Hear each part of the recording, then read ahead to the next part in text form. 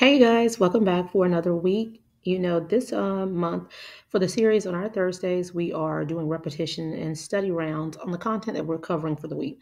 This week, if you have not seen the video, we have covered cultural topics, ethics, and legal issues as I stressed to you guys, it's a bunch of terminology. You're going to have to sit down, write it down, and study it. But you know, with this series, I'm trying to give you something that you can hear repetitively, and then you can run it out when you are home and seated and able to do so. But if you're on the go, hopefully, this is something you can play to help you study these terms because really, repetition is what is going to help you retain it. All right, let's get into it. So, for you guys who are familiar with me, hey y'all. For you that are new to my channel and following my study resources, welcome. I am Dr. Brittany Weinstock, family nurse practitioner and founder and CEO of the Nursing Studio. I do these videos to help you guys easily retain content and material that's needed for nurses and nurse practitioners for board success as well as in practice. Okay. So it's not an end all be all, but I'm giving you the things and the tools so that you can successfully prepare for your boards. All right, let's get into the material. So, as discussed, here are three of the common um, cultural things that I, I, really want y'all to make sure you're familiar with. Again, it's not the end all be all. There are many more, but here are three that I want you to make sure that you know. So, the Buddhist population, the Asian population, and the Hispanic population. Now, I'm not going to go all the way into the study style um, as far as definition, I should say, not the learning, because that's in another video. But since we're studying, I'm just going to hit key points and do that repetitively, right? So, the Buddhist population, you know, they believe in meditation for their physical and mental wellness. They believe in prayer and chanting and um, vegetarianism, okay? So, Buddhists, I want you to think meditation, prayer, chanting, vegetarianism. Okay? So, four things. Think of Buddhists, think four things. And again, this is not end all be all, but four things as you're studying.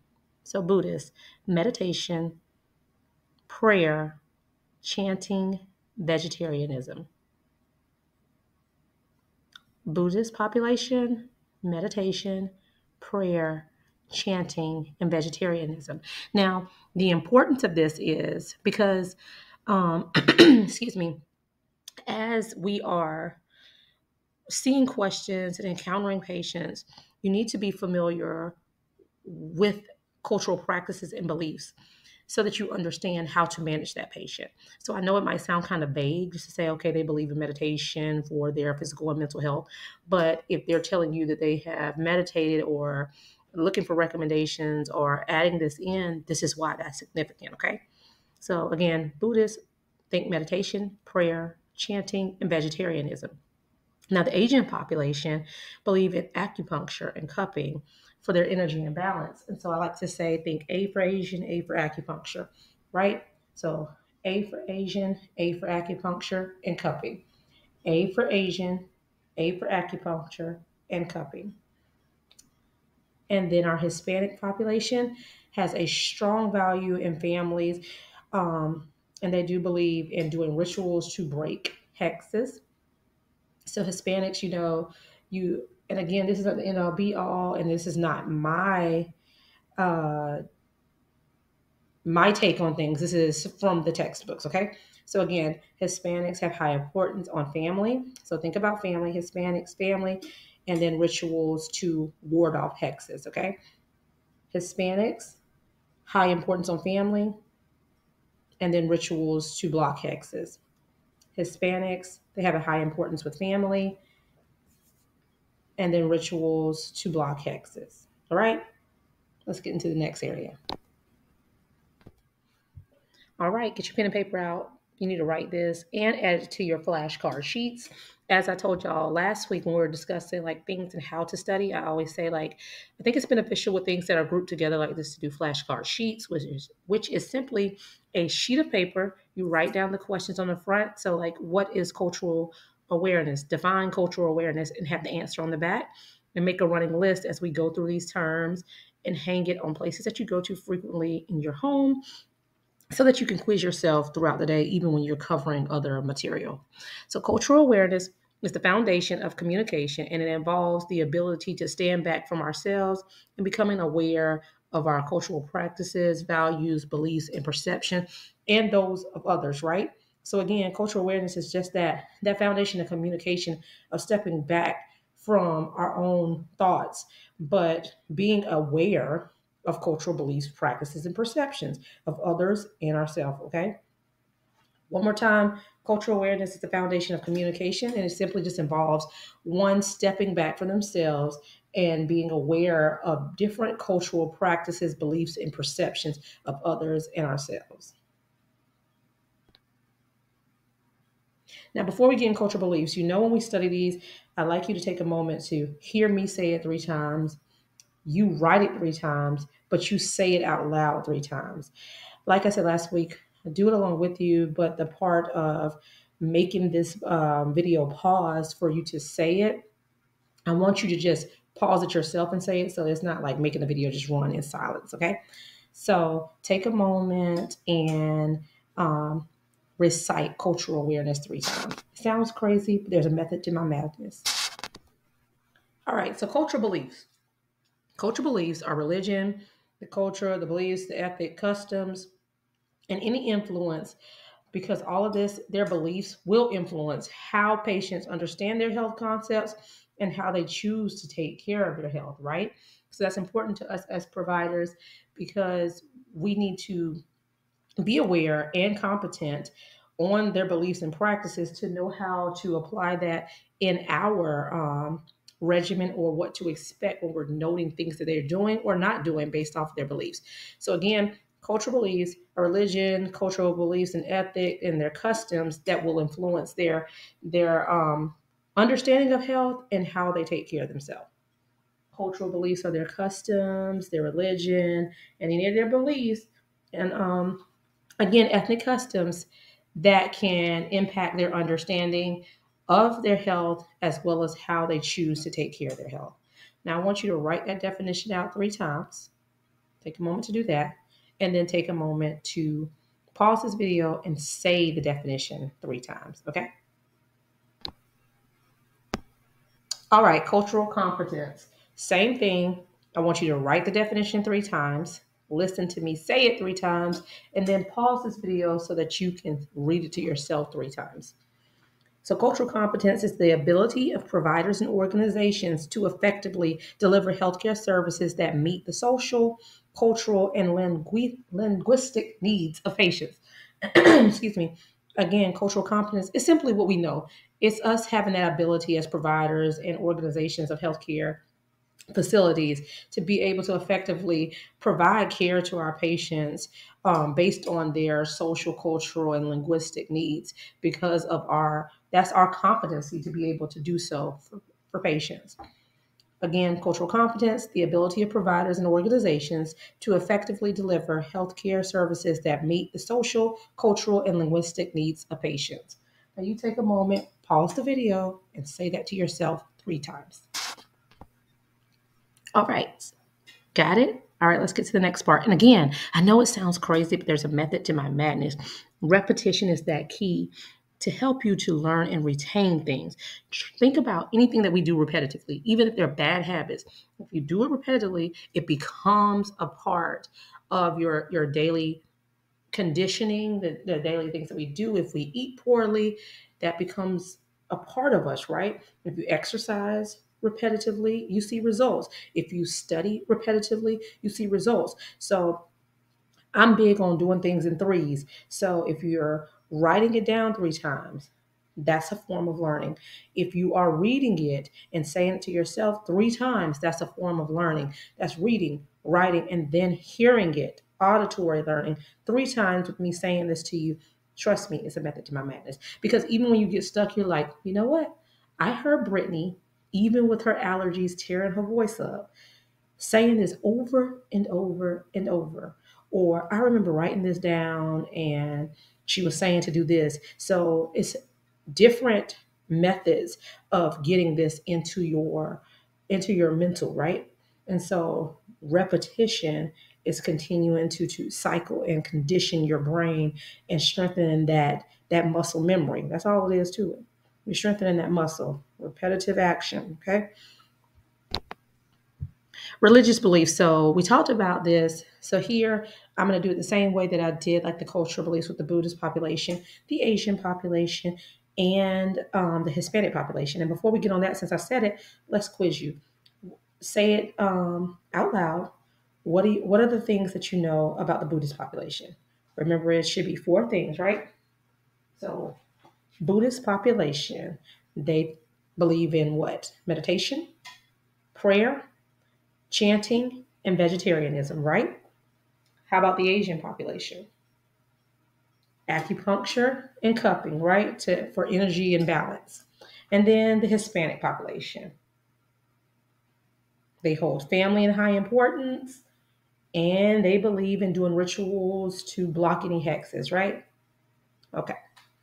If you didn't get it that time, keep practicing it. You will, and be able to say it with me as you're driving to clinical or you're driving to work and preparing for these things, or you're driving to to pick the kids up uh, from practice or drop them off, or if you're in the kitchen cooking, whatever you're doing. As you continue to play that, that's the point of this study that you are saying it along. Eventually, you'll start to it'll start to just come second nature. And then you can apply it to questions because what you're doing here is getting these terms into your mind.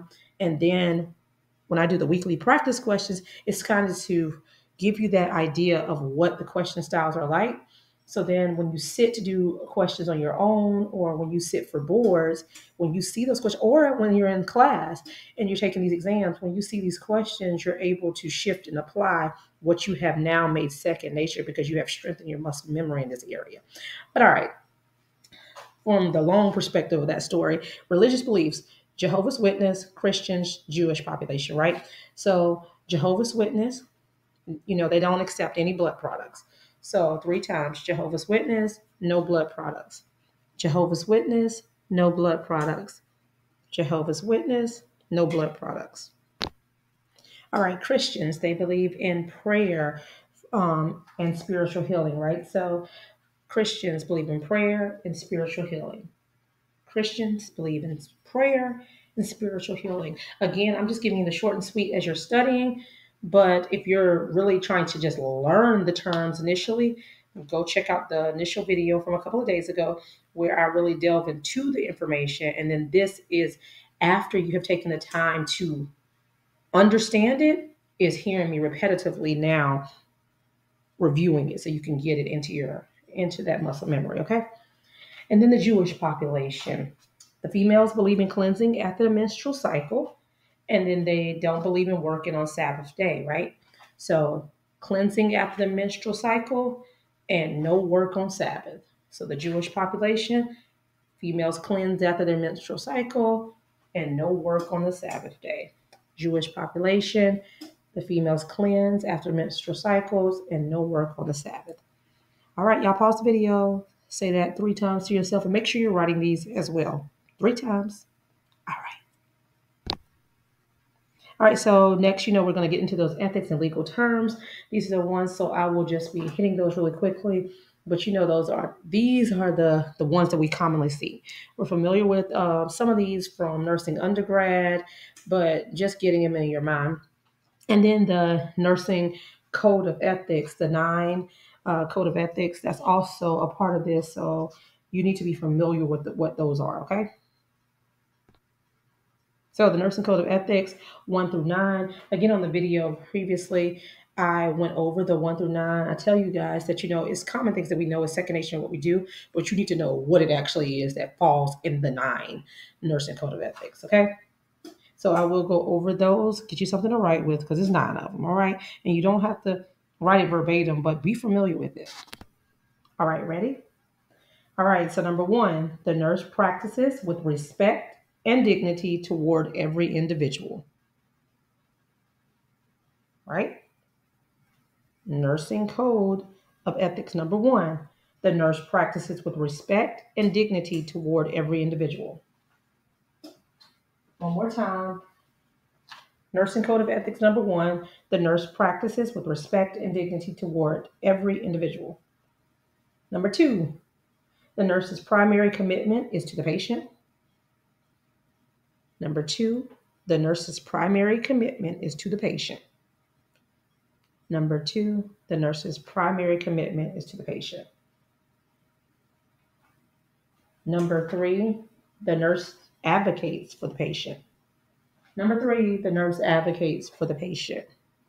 Number three, the nurse advocates for the patient. Number four, the nurse is responsible and accountable for individual nursing practice and determines the appropriate delegation of tasks consistent with the nurse's obligation to provide optimum patient care, right? We know all of this, but just be familiar with it. And no, you don't have to know it to recite it in this form by any means, because again, it's second nature. But if you're seeing a question, you should be able to identify what falls into the Nursing Code of Ethics 1 through 9. So I'm saying it so that you can just put ingrain into your muscle memory, right into your mind so that you are familiar, right? So again, another time, number four, the nurse is responsible and accountable for individual nursing practice and determines the appropriate delegation of tasks consistent with the nurse's obligation to provide optimum patient care. So just simply saying that you're responsible and accountable for all the individual needs to provide optimal patient care, right? So I'm to read it to you one more time. Number four, the nurse is responsible and accountable for individual nursing practice and determines the appropriate delegation of tasks consistent with the nurse's obligation to provide optimal patient care. Number five, the nurse has to remain responsible for their own competence and growth.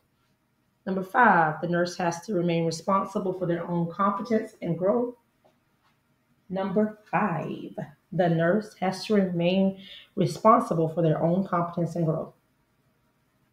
Number six, the nurse participates in the advancement of healthcare. Number six, the nurse participates in the advancement of healthcare.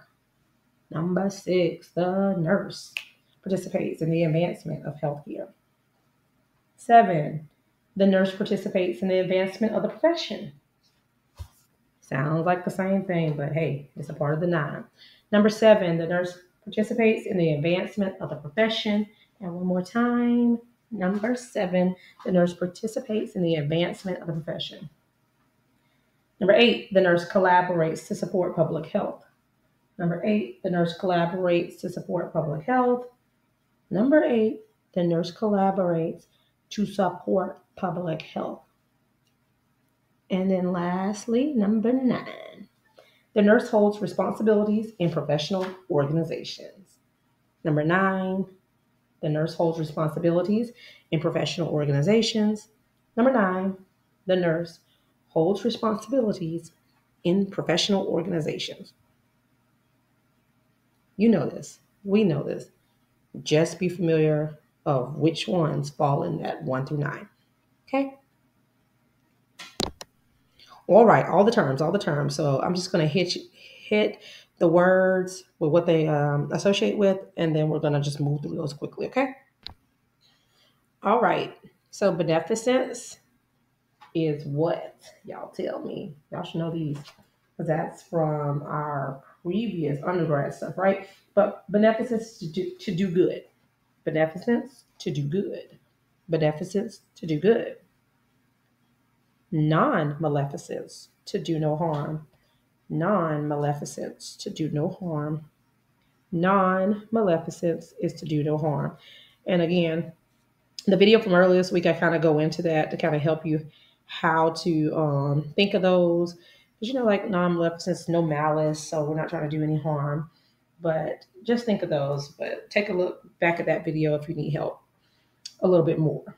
Justice is fair justice, fair, justice, fair.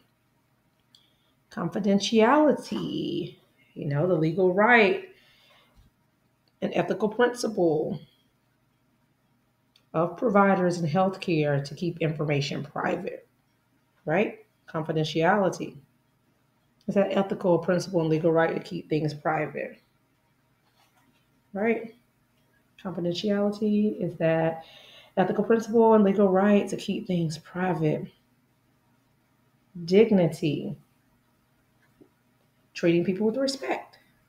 Dignity, treating people with respect, dignity, treating people with respect, autonomy, independence, free will, autonomy, independence, free will, autonomy, independence, free will, accountability, being responsible for one's actions.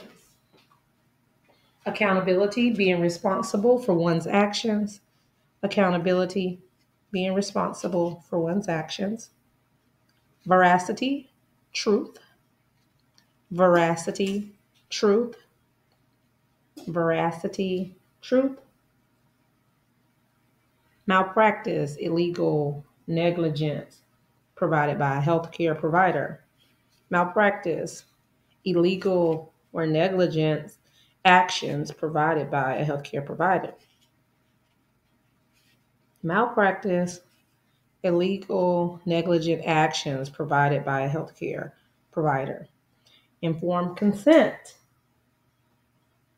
consent, permission from the patient to proceed with the procedure after being provided the risk and benefits. Informed consent, permission granted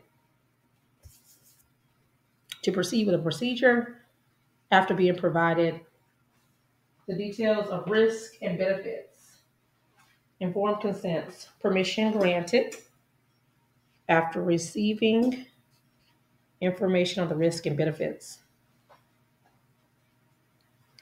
All right, and then advanced directives. Now, I don't want this to get confusing. So, an advanced directive, living wills, and dur- durable power of attorneys are types of advanced directives, right? So, I'm just going to hit what those are. So, the living will is that written document that can contain medical treatment and other responsibilities in the event that they are not able to make the, those decisions on their own. A living will is a written document for medical treatment or other circumstances in the event that they're not able to make those decisions on their own.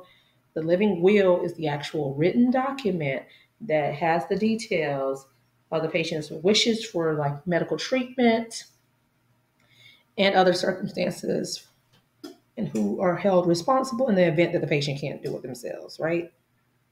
And then a durable power of attorney is the person who is assigned to manage the patient's duties if they are unable to do so themselves. So you know with a healthcare power of attorney that is specifically to healthcare, but a durable power of attorney is over whatever is written for them to be responsible for in the event the patient is unable to do so themselves. And one more time, the durable power of attorney is the person assigned to manage the listed duties in the event that the patient is unable to do so themselves. All right, y'all take a moment, pause the video, and say all of that three times, okay? Pause it, go through the list, and say to yourself, beneficence, to do good, beneficence, to do good. Do that, try it out. All right, so here again, I discussed this in the video when I was going over the lesson, but I like y'all to know because you know we're doing a series of all the non clinical content for this month. So next week, I will be covering um, HIPAA, CMS, everything, you know, the Medicare, the Medicaid, all the things, and billing. Okay, so be prepared to go over all of those policies, insurance things, you know, claims based versus occurrence based all of those things. So that's what we'll be covering next week. But as always, thanks for watching and make sure that you like, comment, subscribe, and share with someone who may find this helpful as well. But y'all know what to do. Be sure y'all meet me back here. Bye, y'all.